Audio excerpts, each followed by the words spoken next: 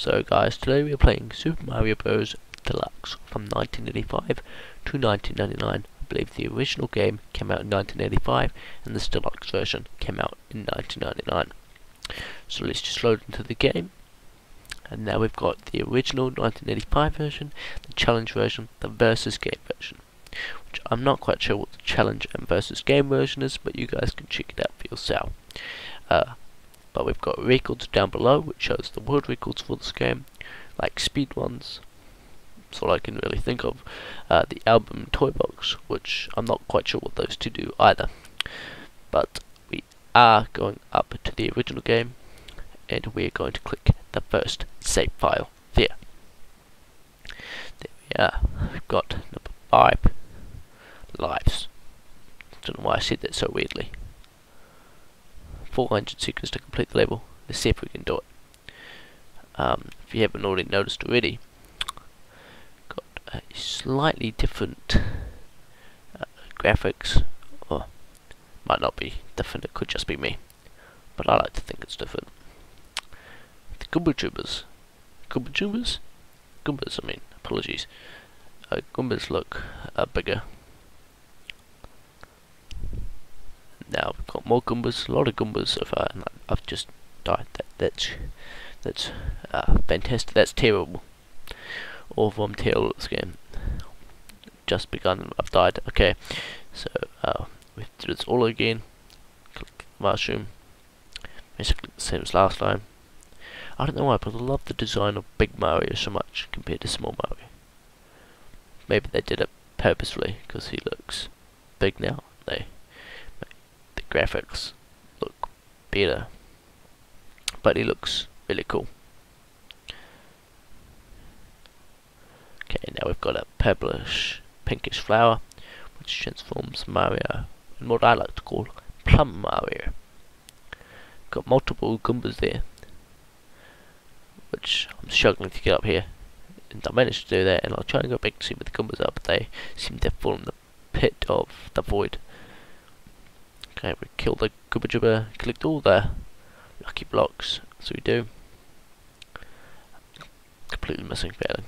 And this time we get a pink purplish flower again, which doesn't do anything, it just gives us a thousand points instead of transforming us because we are already transformed. Now we kill these several Goombas.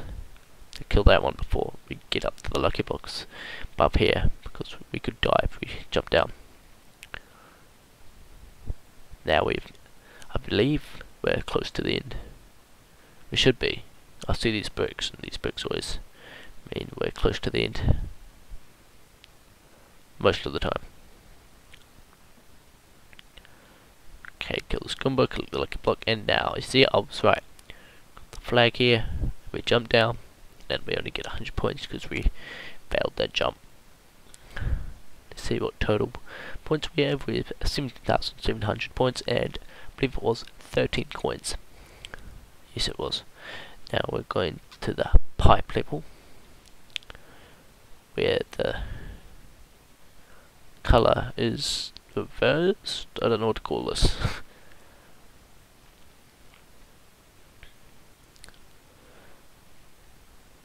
we've got five lucky blocks here.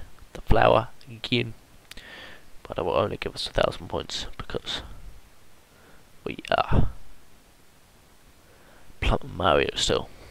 So we've got kill the Goomba again, and then oh, actually I didn't realise that there was uh, there's a lucky block a brick there, and kill the Koopa Troopa, which makes us turn into small Mario. Not only does it take away our Plum Mario, but it also makes us small. Sadly. Uh, we jump up to the brick roof thing. Click the several coins that are up there and knock away all the Goombas. Just there are quite a few Goombas in this part of the level and we died. That that is terrible. I'm sorry for being this bad at the game. Okay. Double kill. That doesn't sound as right because my uh, voice right now. Okay. Okay, we finished the beginning of this level. And now we are back. This part with the uh, lucky brick, brick block. That's a tongue twister. The lucky brick block. Which gives us far more than two coins this time, which is a bit odd. But that's fine, we move on. This time the shell doesn't hit us. And we kill all the goobchoobers. This time killing two Goombas, not one. But unfortunately, we have to kill these two Goombas. They aren't that difficult, but I did die here last time, so say what you will. I can't get up there. Quite difficult. Okay, I collect several coins. Now the I ah, getting annoyed now. Getting annoyed at myself for being bad at the game. It's really sad actually. Okay. This time the mushroom comes to us without it being knocked back into the little abyss of the off screen. We have Big Mario, which as you can see is two to three blocks tall, and collects the coins from the lucky brick block. Hey, I see that right this time. It's pretty uh, cool. These, th this part of it. See, I shrink again. It's really annoying. For some reason, the, I just realised the Gooba Trooper can fit underneath the brick, even though his neck is literally going through the bricks themselves. Now, I thought I was smart here by jumping up there, so the Goomba would go off screen, but it, not because I collected the coins too quickly. Okay, jump up, click the bricks, click the coins, all the stuff for double kill. Wait for the piranha plant to pop up and then pounce, but doesn't. So I'm just waiting there for no reason. Same with this one kill the Goomba puzzle. I wish you could kill piranha plants. Mario. I wonder how much points that would give you. And if you can, please do tell me. Kill the red Gooba Trooper. And we go back up to the surface and complete the levels. And I, I missed the top flag again, which only given me 100 points. Let's see the total amount of points this time. 49,500 with 62 coins. We're at the third level with 2 health remaining. Now we're at the palm trees. If you recognize these from an older episode, um, go watch that if you want, or you could just stick with watching this one. It's up to you. Um, yeah, it's completely up to you if you want to do that.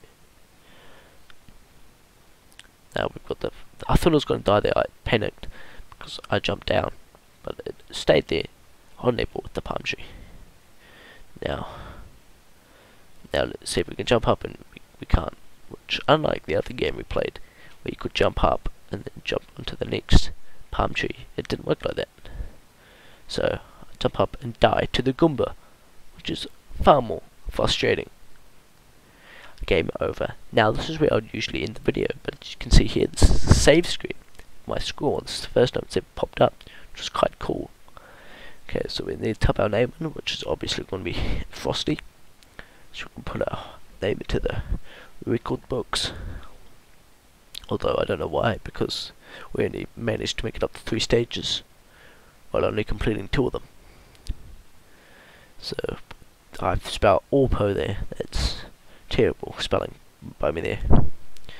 I've spelled fail roleplay now. That's great.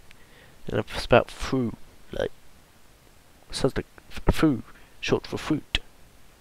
Frost, Jack Frost from the movie Gods of the Guardians. Now, there we have got Frosty. Right there, ranking. We are 8 out of 10. That is terrible. I know, stage there. Terrible. I'm sorry for being bad. Thank you guys for watching. Hope you enjoyed.